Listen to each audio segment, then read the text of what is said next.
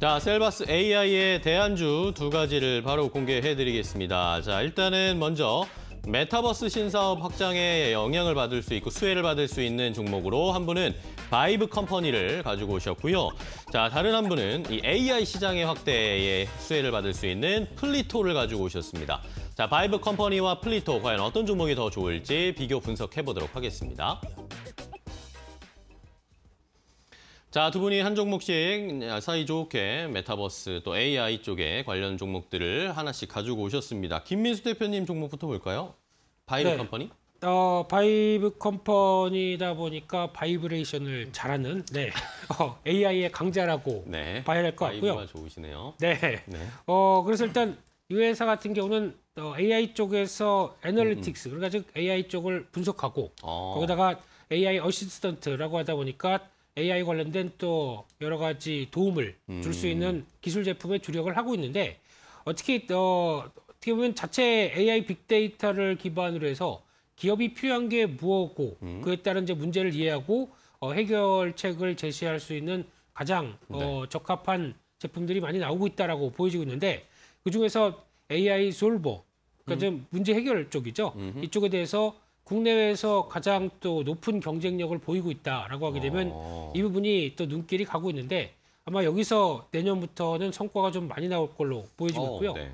어, 그와 함께 또 지금 메타버스도 당연히 어, AI를 통해서 확장할 수 있는 음. 대표적인 분야고 그걸 이제 디지털 트윈이라고 그러죠. 네. 즉 어, 가상 시, 어, 가상의 배경도 현실과 거의 똑같이 따라갈 수 있겠다라고 하게 되면 이를 어, AI로 또 구현할 수 있다라는 음. 쪽에 대해서 눈길이 가고 있는데 또 이 회사가 신사업들을 계속 또 추구를 하고 있습니다. 음. 대표적으로 인공지능 핀테크 기업인 퀀, 어, 퀀팃이라는 회사를 어, 자회사로 편입시켰는데 오. 저희가 보통 얘기하는 로보 어드바이저죠. 음. 어, 저희 어, 로봇이 알아서 매매해준다라고 하는 이 개념들이 벌써 2, 3년 전부터 어. 증권가에서도 많이 알려졌는데 그렇죠. 이 가상화폐까지 포함을 시킵니다. 오. 그러다 보니까 어, 땡기시죠? 네.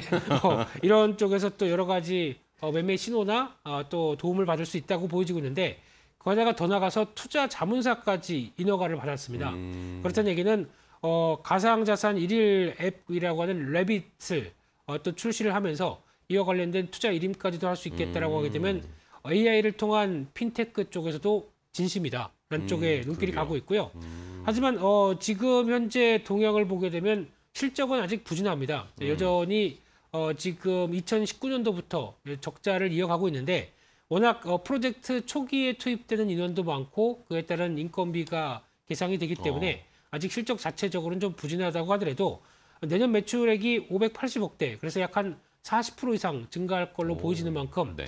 빠른 어, 이런 플랫폼 기업이나 소프트웨어 기업들은 매출 자체가 커지기 시작하게 되면 그에 따라서 이제 어, 수익성도 뒤따라서 빠르게 늘어난다라고 봤었을 때는 기대는 여전히 높다고 봐야 될 것 같습니다.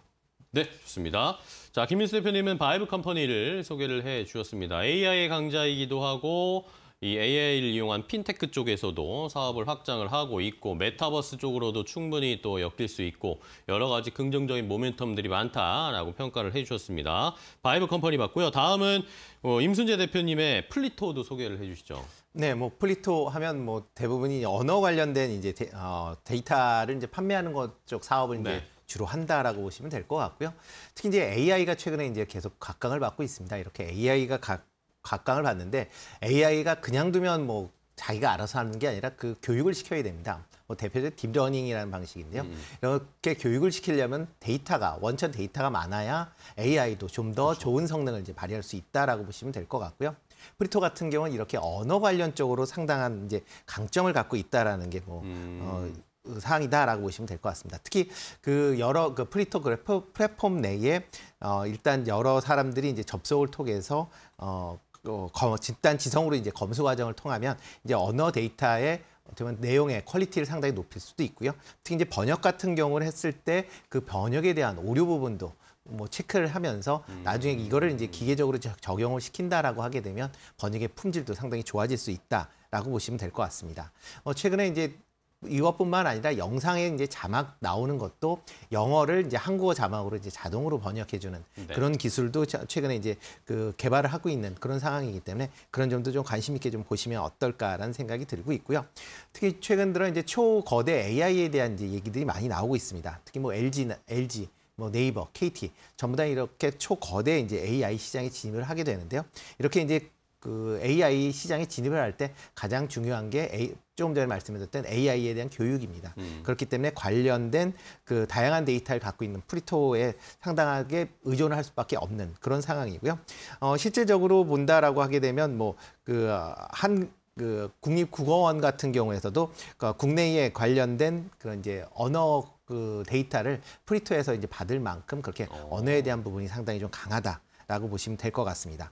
그리고 향후에 이제 이런 그 번역 관련 이렇게 언어 데이터를 활용한 이제 번역 관련 쪽으로 이용을 한다라고 하게 되면 뭐 웹- 현재 웹브라우저 내에서도 뭐 대부분 이제 사이트들을 갈 때 외국어 사이트들은 이제 한국어로 번역이 되는 그런 이제 기능들을 많이 하는데요. 이런 번역률이 좀 더 높아질 수도 있다라는 걸 보면 향후에 좀 더 성장성 기대하지 않- 기대해 볼 수도 있지 않을까 싶습니다. 네, 좋습니다.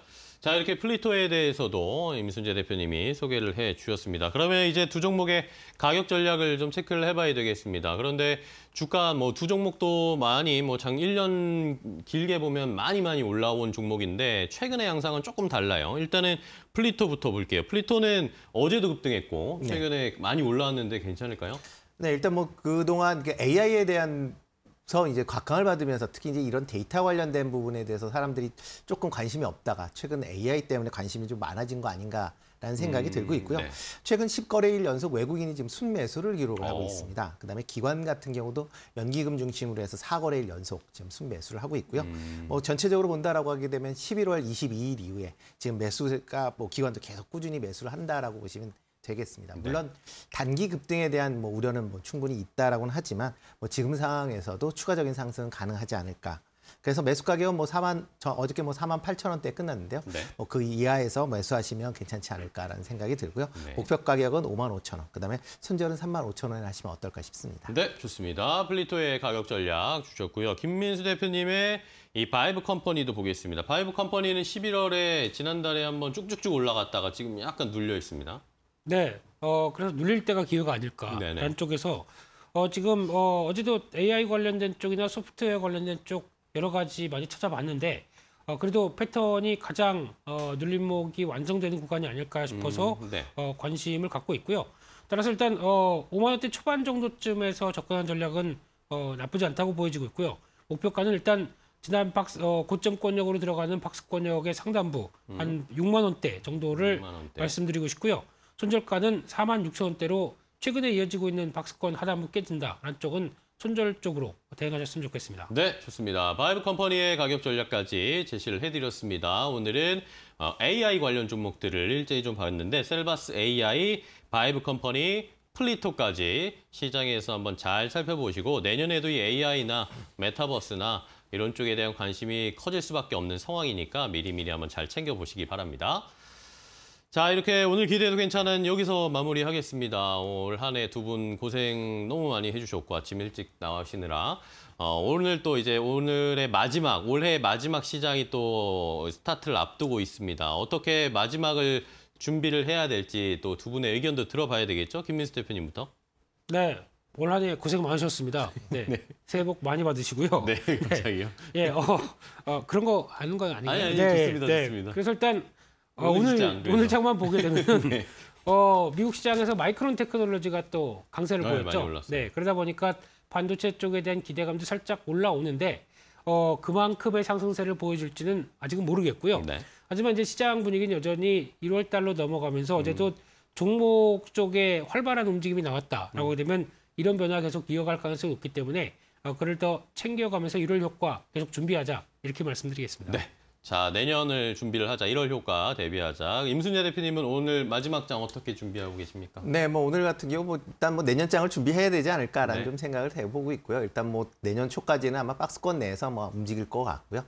개별 이슈가 있는 특히 이제 음. 개인들이 이제 12월 12월 달에 많이 판매 매도를 했으니까 이제 또 1월 달에 또 매수를 많이 할 거거든요. 그 관련 쪽으로 아마 개별 이슈가 있는 종목 중심으로 아마 관심을 가지시는 게 어떨까 싶습니다. 네, 알겠습니다. 두 분 오늘 또 좋은 이야기 해주셔서 감사하고 올 한 해도 너무나 고생 많으셨고요. 두 분도 새해 복 많이 받으시고 내년에 새해 뵙도록 하겠습니다. 고생 네, 많으셨습니다 고맙습니다. 고맙습니다.